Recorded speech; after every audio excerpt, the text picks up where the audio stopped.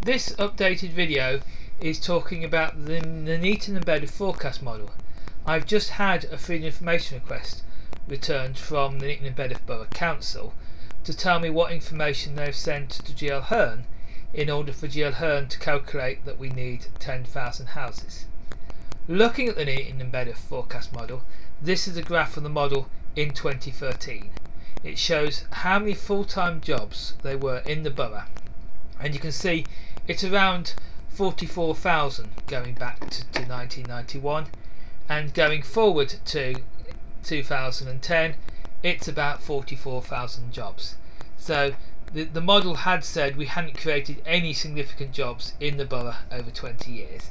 But in 2013 they were looking at us creating 1.5% more jobs every year for 18 years. That's an extra 12,000 jobs created in the borough and that was the basis of the borough plan in 2013.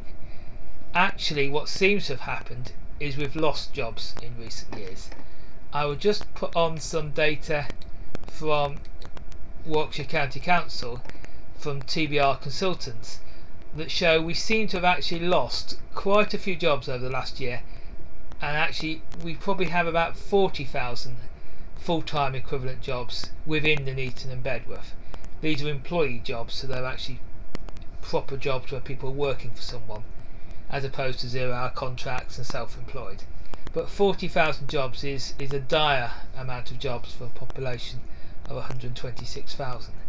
I've now, as I said, got the employment projections used for the latest borough plan and if we look at the baseline figure for the Nuneaton Bedworth Forecast model.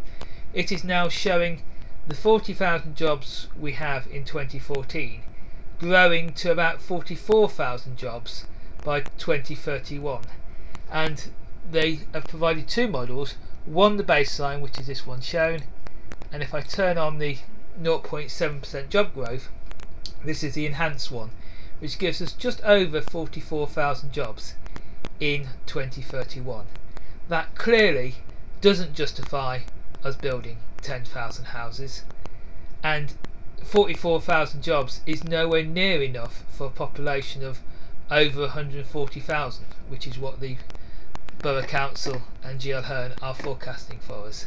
This is just crazy. It is just dishonest.